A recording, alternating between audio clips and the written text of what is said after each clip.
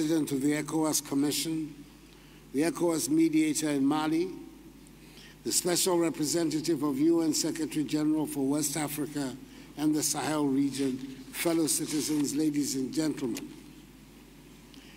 I welcome all of you to Accra once again, and I thank you for responding to the call with, our deliberations centering on the happenings in Guinea and Mali. We're met today for further urgent deliberations on events in those two countries. Presidents, at the second extraordinary summit on the political crises in Guinea and Mali is a clear manifestation of the solidarity and commitment of the ECOWAS community to the democracy, peace, prosperity, and unity of the region. Excellencies, as we all know, there was a coup d'etat in the Republic of Guinea on 5th September 2021, and President Alpha Conde has since been detained by the military.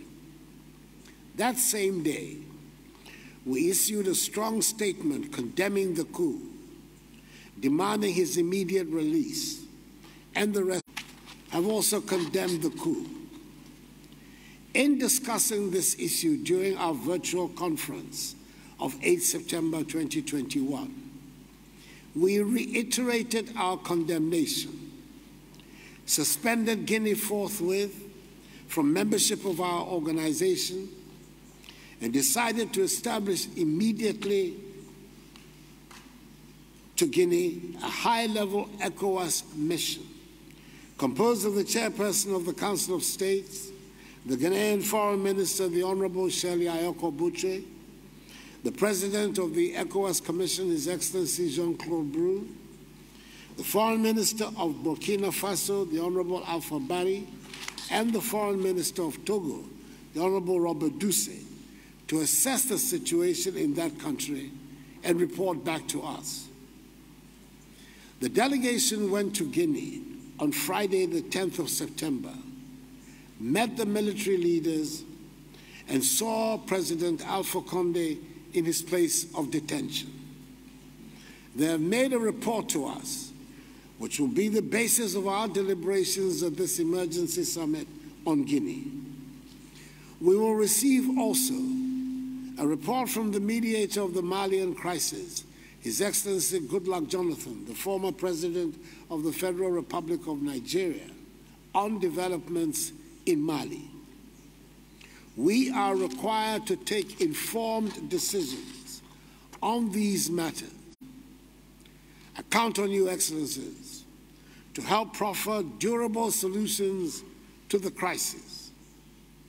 And I'm confident that, as in the past, we will rise to the occasion.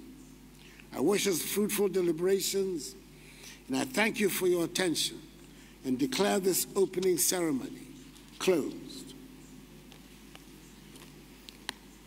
We thank His Excellency Nana Addo Dankwa Akufo-Addo, President of the Republic of Ghana, Chairperson of the Authority of ECOWAS Heads of States and Government, for his opening statement.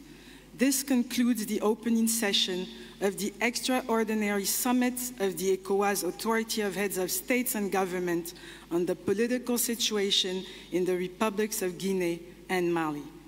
The Authority of Heads of States and Government will